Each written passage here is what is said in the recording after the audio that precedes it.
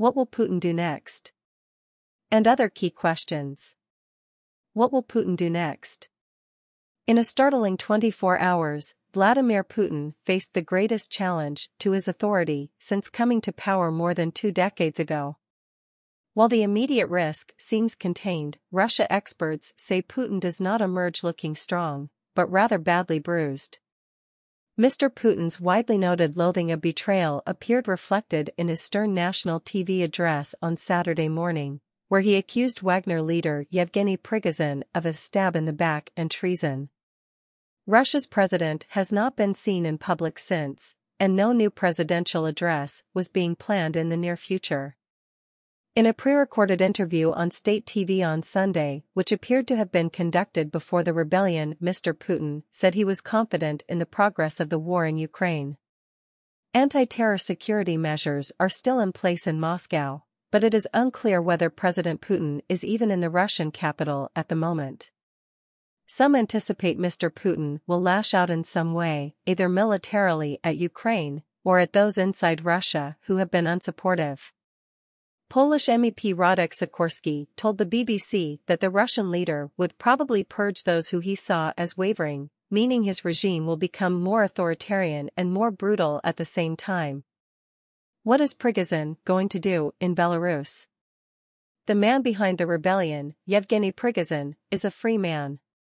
Despite trying to topple the military leadership of Russia, the charge of armed mutiny against him has been dropped. But we don't know all the details of the agreement that was reached between the Kremlin and Wagner. Russia analysts do not expect Prigozhin to disappear quietly into the night. The mercenary leader, who has been a very vocal figurehead for tens of thousands of fighters in Ukraine, has also been an important figure for President Putin, operating in the shadows for a long time. He has spent years doing dirty work for the Kremlin, from fighting in Syria to fighting in Ukraine in 2014, when it annexed Crimea. But after challenging Mr. Putin's authority, and some argue humiliating the Russian leader, questions about what guarantees he was given for his security, and his role going forward are still to be answered. Observers are questioning how much control Belarusian leader Alexander Lukashenko will be able to exert over Prigozhin if indeed he does go to Minsk and, should Wagner forces follow him, what threat they will pose to Russia, Belarus and Ukraine. From Putin's chef to rebel-in-chief. What happens to the Wagner Group now?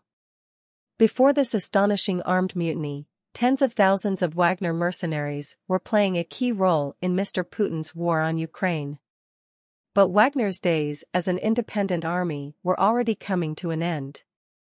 Prigozhin and his forces have been resisting pressure to absorb them into the Russian Defense Ministry, and disgust at that move is seen as a key factor in turning a long-running feud into rebellion.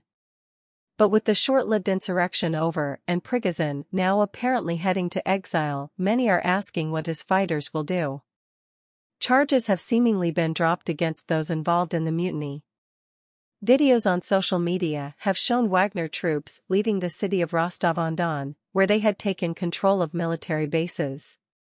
The governor of Voronezh, which is halfway between Rostov and Moscow, has said Wagner forces are also leaving his region. However, it is unclear whether they will now simply cooperate and be integrated into the regular Russian military or even if Russia's regular soldiers will now willingly serve alongside them.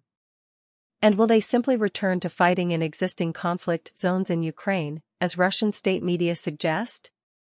Some analysts have raised concerns that fighters could follow Prigozhin west if he does go to Belarus, the closest point from where Russia could attack the Ukrainian capital, Kiev. What is Russia's Wagner Group? How will it affect war in Ukraine? The Wagner Group has been providing some of the most successful shock troops fighting in Ukraine, even though many of its fighters have been drawn from prisons, lured with the promise of freedom for frontline service. They were heavily involved in Russia's capture of the city of Bakhmut, for instance. Russia claims the rebellion has had no impact on its Ukraine campaign so far. However, Russian forces will no doubt have heard what's been going on and the news may be demoralizing.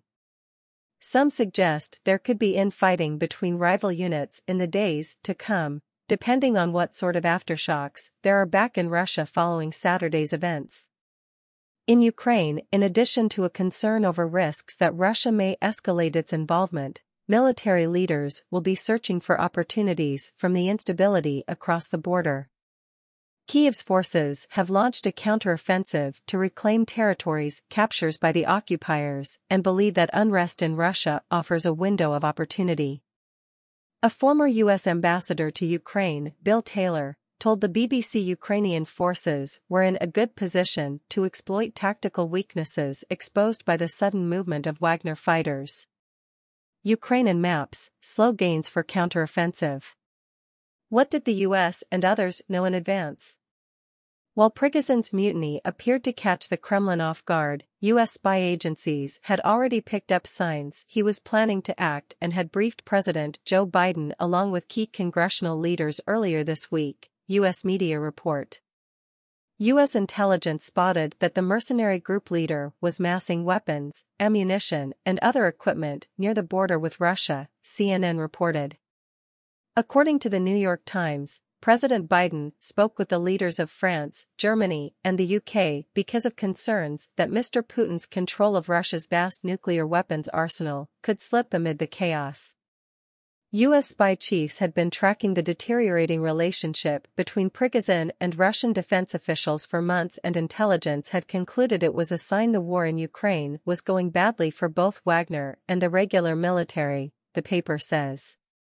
Meanwhile, The Washington Post says the U.S. may have picked up that Prigozhin was planning something as early as mid-June. A key trigger was a decree on June 10 by Russia's defense ministry ordering all volunteer detachments, like the Wagner Group, to sign contracts with the government, which would effectively be a takeover of Prigozhin's mercenary troops. Officials told the paper there were enough signals to be able to tell the leadership that something was up, but the exact nature of Prigozhin's plans weren't clear until shortly before the mutiny began. President Putin was also told by his own intelligence that Prigozhin was plotting something, the paper reported. It is not clear precisely when he was told that, but it was definitely more than 24 hours ago, the paper quoted a U.S. official as saying on Saturday. What do the Russian people think? Mr. Putin's address to the nation as the crisis was unfolding is being seen as a sign of how seriously he viewed the threat and the need to assert himself to the Russian public. Many inside the elite will personally blame Putin for the fact that everything went so far and that there was no proper reaction from the president in good time, a leading Russia analyst Tatiana Stanovaya wrote on Telegram. Therefore, this whole story is also a blow to Putin's positions. While it is hard to draw conclusions about overall Russian public opinion, the country's leaders would have been concerned by the sight of civilian onlookers applauding Wagner units in the city of Rostov. As Wagner troops left the city they had effectively taken control of during their rebellion, they were greeted by an apparently supportive crowd who cheered, clapped and took photos. However, it is worth noting that some residents had seemingly rushed to leave the city by train on Saturday after Wagner arrived.